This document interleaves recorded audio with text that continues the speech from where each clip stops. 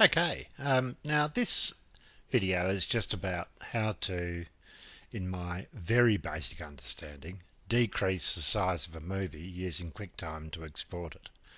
Uh, because a lot of people have trouble um, with their video uh, being too large for the net. So they get a raw video out. So this is the, the raw video out that I've produced, okay, with me chatting away. It's I'll show you what it's like to start with. Okay, now we'll press the beginning. Okay, so I'm making this movie to see if I can make it smaller once I've made it. So I'm trying to make it as big as I can. Okay, so that's not too bad. Um, now, what I've done here is I've shown you here the different sizes. So the original size is is uh, 25 megabytes. And then I knocked it down to 16.9 then down to 11 and you could actually squeeze it lower than that too if you change the size of it. But from 25 to 11 is quite a sizable uh, quite a sizable reduction. And there's not a lot of difference except that in this one the sound isn't isn't as good. But you may not be able to detect that so easily. So I'll give you an example of the um, the 16 one, which is still quite a reasonable reduction. So that's test 3. What have I done with that? Uh, test 3, here we are. Okay, what I'm going to do is try and play them side by side. They'll be a little bit out of sync, but um, here we go. Okay, so I'm making okay. this movie to see if I can make it smaller once I've made it. Uh, so I'm trying to make it as big as I can. I've this movie in to see if I can. I've got too much running.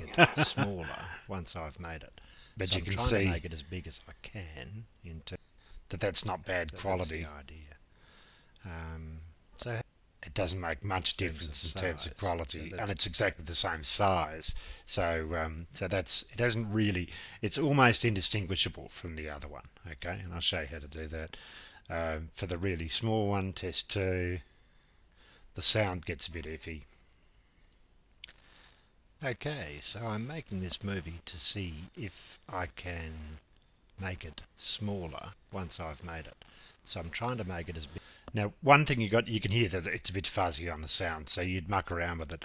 A lot of this is just trial and error, right? A lot of it is is to take a movie, do what I'm doing with this, and you'll find uh, that it um, uh, you'll find the right the right right one for you. Okay, so there's the first one. I'm starting with an MP4, an MV, uh, an MP4 um, file um, with an which has a a, pre, a um, uh, a tag on the end of it of M4V.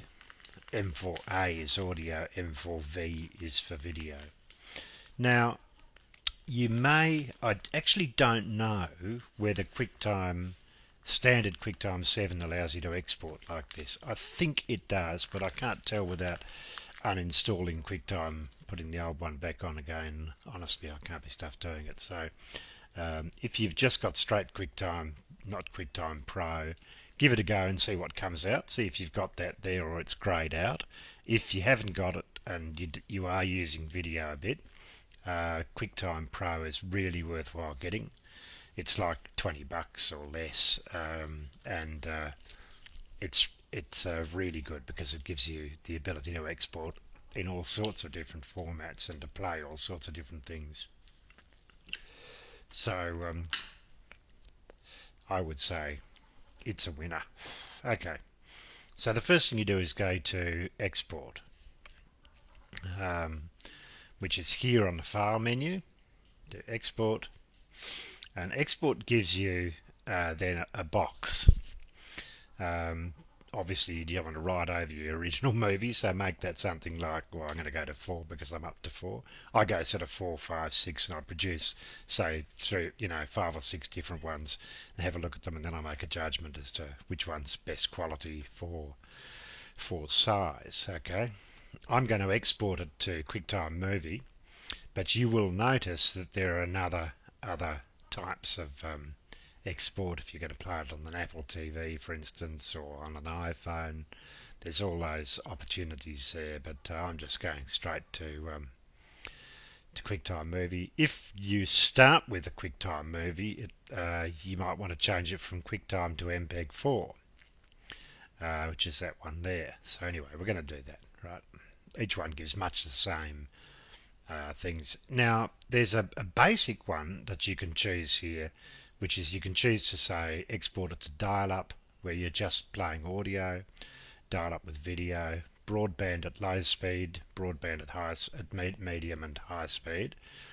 Uh, LAN is local area network or intranet, which is one within a business, say that you're not actually going up onto the internet with, you're just going between machines, e Ethernet or or airport type machines. Um, and uh, finally, you've got streaming um, medium or low. Streaming is is where the server that you're uploading it to has the ability to stream video live off the server. And I have a feeling, but I don't quote me on this, but I have a feeling that uh, the .mac server does that. Uh, but anyway, I don't know. I certainly put uh, certainly compressed movies and streaming and put it up there, and it's worked. Whether that means it's got a streaming server or not, I don't know. That's for the more intelligent among the community to inform you about that. I don't know anything about it. Okay, so do that. Where am I going to save it to? The, I save it to the desktop because that's my primary workspace. And then always file things away after you've done that, you've used them or get rid of them.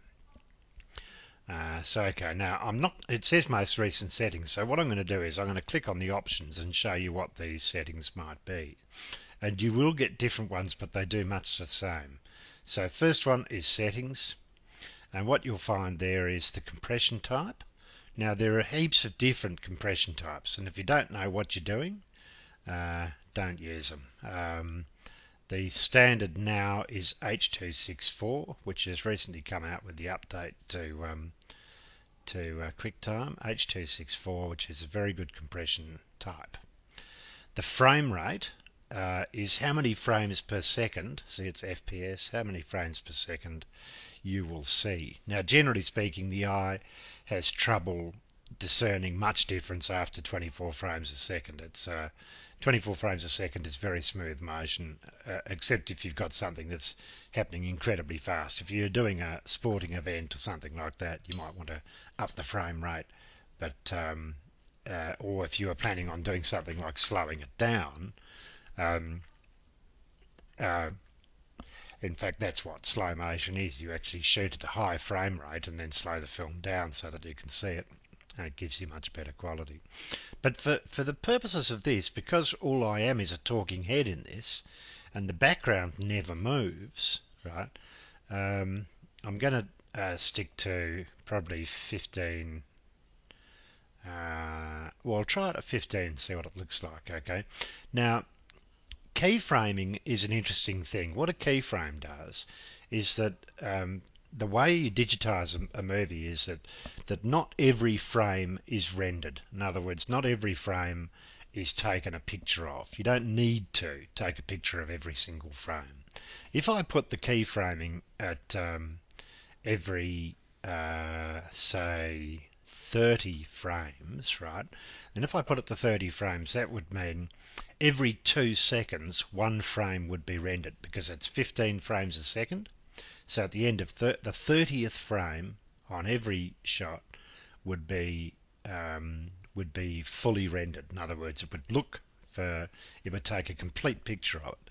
Then what it does is frame 31 simply looks for the differences between frame 30, which is fully rendered, and 31. So if not, if there isn't much movement, it only records the bit of movement. Um, the problem you get is if you've got a background that moves a lot, uh, or like if you've got a, I'll give you an example. If, if for instance, behind me was a, a swaying tree, uh,